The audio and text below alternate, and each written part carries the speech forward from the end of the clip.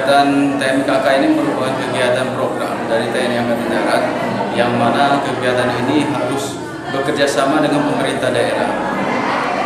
Dan dasar dalam pelaksanaan kegiatan ini merupakan uh, ada MOU dari pimpinan kita TNI Angkatan Darat kepada kementerian terkait khususnya uh, kesehatan maupun uh, keluarga berencana yang mana untuk mendukung guna meningkatkan kesejahteraan masyarakat setempat dengan pengendalian laju pertumbuhan ekonomi.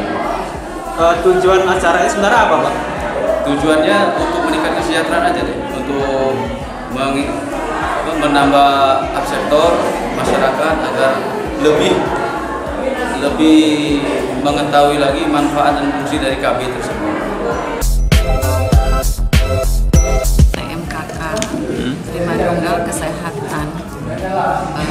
Tunggal KB Kesehatan yang rutin kita lakukan setiap tahunnya. Leading sektornya adalah dari uh, pihak KB yang di uh, apa dilaksanakan di 15 kecamatan.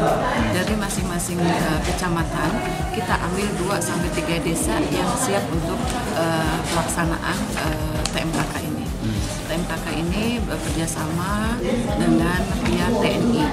Di sini uh, pelaksanaannya memang sesuai dengan dasar petunjuk dari Bapak Panglima juga dari Kepala uh, Dinas uh, BKKBN bahwa pelaksanaan TMKK ini harus uh, selalu dilaksanakan di semua daerah.